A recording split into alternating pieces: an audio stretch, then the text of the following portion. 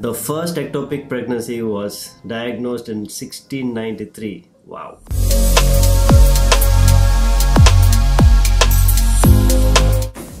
Hi everyone, my name is Dr. Surakshith Battina and in this video I'm going to explain to you a little bit about ectopic pregnancy, what might be its possible risk factors, how do we treat it medically as well as surgically, so stay tuned for that.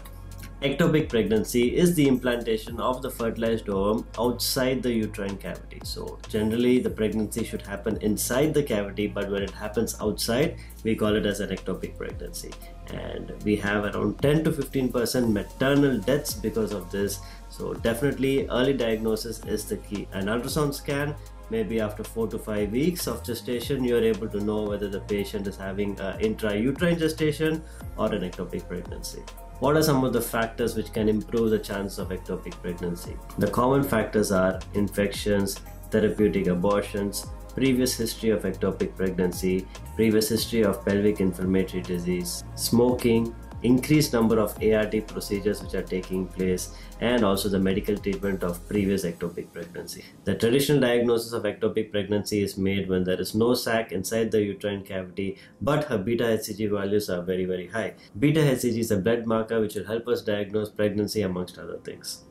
The common sites where the ectopic gestation can get implanted are the fallopian tubes, which is about around 95% of the time, and the other 3% of the time it can be in the cornual area, which is the junction between the tube and the uterus, and the other 2% of the time it can be either in the ovaries or in the abdominal cavity. Thanks to the wide usage of ART procedures, we now have this new entity called as the heterotrophic pregnancy, where we have one pregnancy inside the uterine cavity and one outside. Although heterotrophic pregnancies are very rare in natural pregnancies, it does occur from time to time.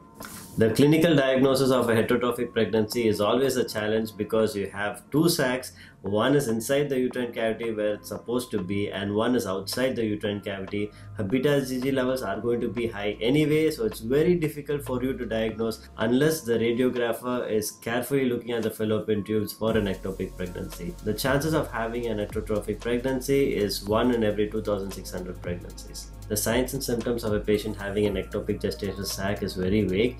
Patient can have a dull aching pain in the abdomen. Sometimes this can also be in the groin area.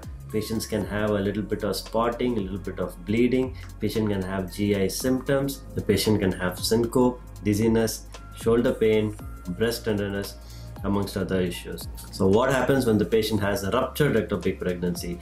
The BP goes down, her pulse rate goes up and also her hemoglobin goes down. So how do we treat an ectopic pregnancy? Ectopic pregnancy can be treated either medically or surgically, but some kind of treatment has to be done. Ectopic pregnancy by itself is an emergency and it has to be treated like an emergency. So if you know that you have an ectopic pregnancy, make sure that you are visiting the hospital immediately because if treatment is not done, it can also lead to death. Coming to the medical management of ectopic pregnancy, we use methotrexate along with folinic acid and this will be given in a combination either for a single day or a multi-day. This only depends on a lot of factors. And the whole idea about giving this man management is that we want to reduce the beta hcg levels which i have already spoken to you about earlier.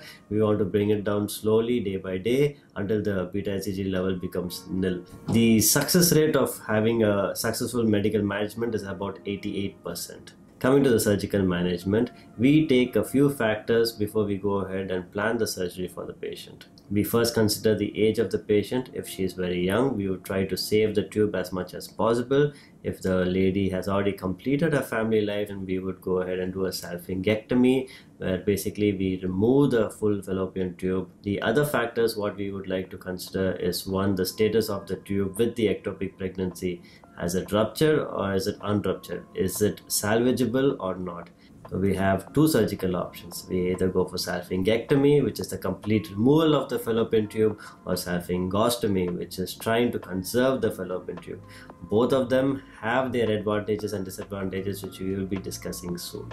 So if you like the video so far, go ahead and leave a thumbs up, leave a like on this video. This will definitely boost our ratings and at the same time, it will help us create more content like this in the future.